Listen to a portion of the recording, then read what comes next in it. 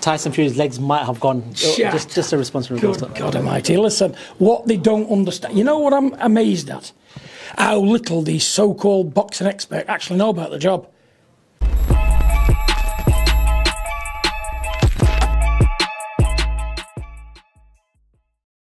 Pro boxing fans here in Brighton. Uh, John, we've just seen your son, Roman, put in a very convincing performance. Um, just give me your thoughts. We've seen him progress nicely.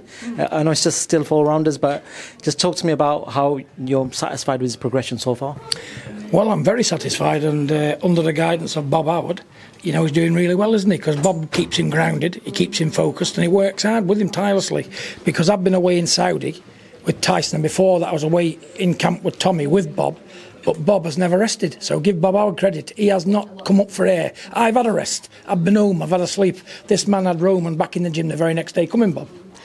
Come in. I just want to introduce this guy to the rest of the world here. Thank you. This man is probably as good a trainer as what's out there. You know why? His consistency is unlevelled in this game. And believe me, he does a good job too, as you can see. That's a rank stone novice who's never boxed before in his life. No, no amateur contest, nothing. Two years ago, he's 20 stone, depressed. Look where he is now. And just ended a good night here in Brighton with a knockout. Bob, Due uh, to this man here. yeah, just give us, uh, give us a few thoughts on uh, Roman's performance tonight. I thought it was very, uh, very, very good tonight. He's, he's, he's just uh, wants to learn all the time. He's always busy in the gym. You know, he's, he's, he's there every every day early. Turns up, wants to learn, just grafts really hard. So he's only a novice, isn't he? It's his third ever fight. So what can you expect? But he, he put up a fantastic performance tonight to get rid of a, a tough man.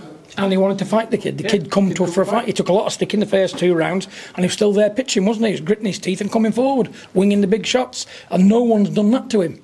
You've had kids with, well, God knows how many amateur contests and amateur championships turning, probably not done that to him. You know, give Brad his due. Good game kid. And you know something? I've never seen a ginger haired kid without bottle.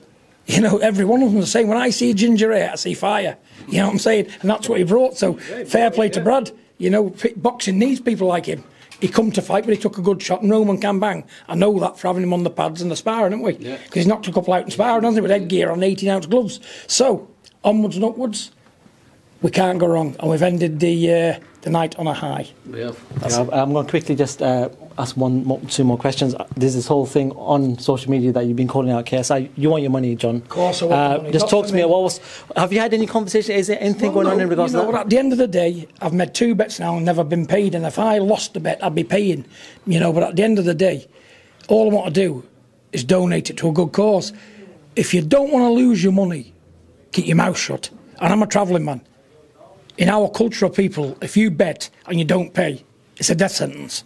You get kicked up and down like a football and called every name under the sun. So if he wants to be respected by people like me and others out there, pay your money.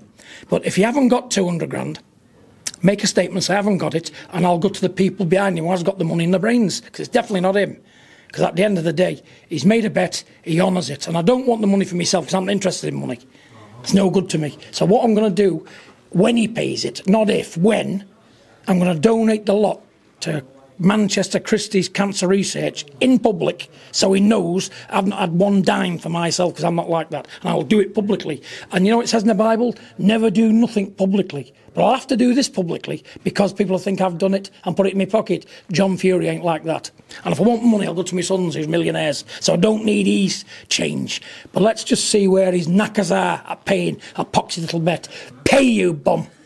Final one, John. Sorry, before I let you go. Um, I don't want to talk a lot about Tyson because I know obviously uh, Yeah. the team doesn't want to talk a lot about Tyson, but a lot of people have talked about Tyson a Yeah, lot full shit.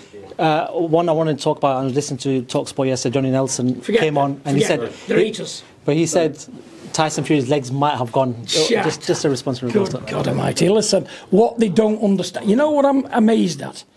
How little these so-called boxing experts actually know about the job. Ngannou was built like a tree. 19 stone, four or five, a solid muscle, and the kid could fight. It's not how bad they want to look at Tyson. Tyson was okay. It's how good the other kid was as well. Giving Ngannou credit. He brought his action, and he's a man mountain. Tyson's a boxer. That kid's been kicked in the face, nutted in the face, elbowed in the face. He's not going to bother about a boxing glove, is he? And Ngannou was as tough as teak, big, strong man. I think Tyson done very well, but the game plan could have been better. A lot of things could have been better. You know, but I know my son. it can he can get it right next time, can't he? But he got the win. He got the win, and that's what it's about. John, thank you very much. I know it's late. Thank you so much for giving us you your time once again. I appreciate your time. Thank you, mate. Top man. Thank you.